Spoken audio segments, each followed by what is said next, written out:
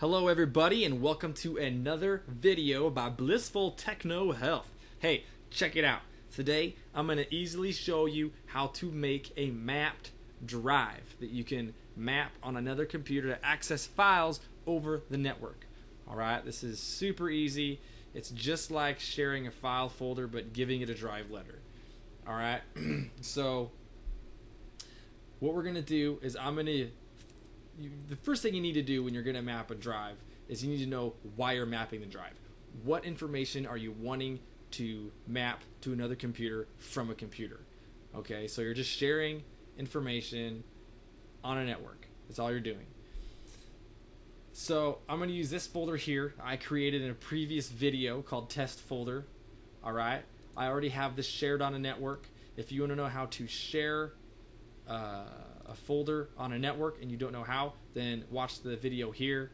All right, I just you see the link up here floating around at the top or whatever. That card I put on my YouTube video for you. But once you get that folder shared and you want it to be mapped instead of just accessing it through uh, the network in the traditional way, this is how you do it. So you got to find your location first. We know what, what uh, information we're going to share with a mapped drive.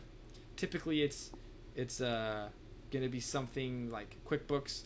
If you're opening QuickBooks folders or company files over the network, then you want to map a drive letter so you can open that company file from another computer on the network. So, super easy. I'll quit blabbing at you and get to the point. So, on the computer that you want to access the information on, you just have to know the network location. Okay? So, that network path. I know the information I want because if I get on my network, I can see here that here's my test folder. Okay, I accessed it over the network. I can just grab that location. I want to copy it, put it in my clipboard. Follow me? So know the location over the network you want. Get the location up here. Put it in your clipboard. And now we're just going to hop over to this PC. If you're using Windows 10, it's called this PC. Okay. If you're using Windows 7, then it's going to be called computer. All right, Windows 8 is also going to call it this PC, but those are basically the same thing. So let's pop over to my Windows 10 computer over here, okay? And now we're going to click on Map Network Drive. I've got that in my clipboard, and we can give it whatever drive letter we want that's available. I'm just going to use Z because that's what it defaulted to, and I don't really care what the drive letter is. And I'm just going to go ahead and paste that location. Reconnect to sign in. Typically, yes, you want to do that. Connect using different credentials. We're not going to bother with that. All right. Boom. There it is. There's my nat- mapped network drive letter. Okay. Let's take a look. Let's pop over to File Explorer. Hop over to this PC.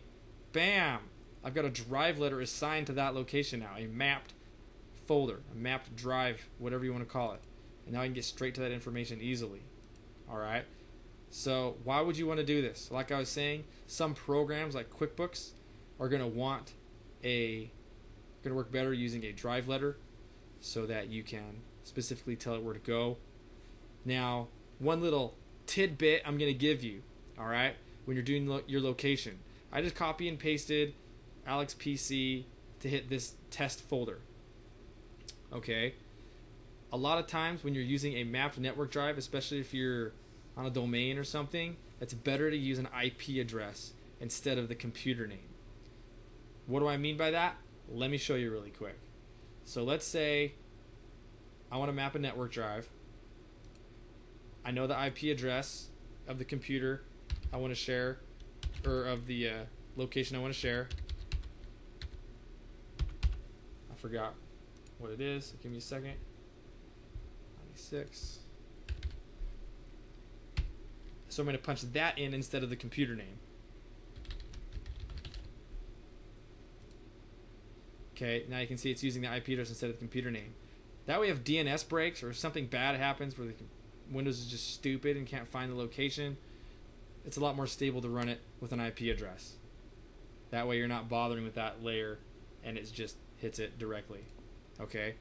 And it gives you the same results. So, how can we tell? Let's go to this PC. You can see I have a Y with that same location, but I'm using the IP address instead of the computer name.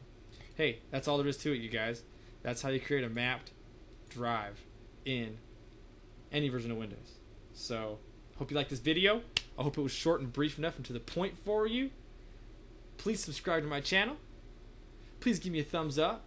You don't want to miss out on future content. So, also, if you have questions, feel free to shoot me a comment down below if you can't get the, the drive to map properly or whatever. And I'll do the best I can to help you out. Thanks, guys. Peace out. Have a good night.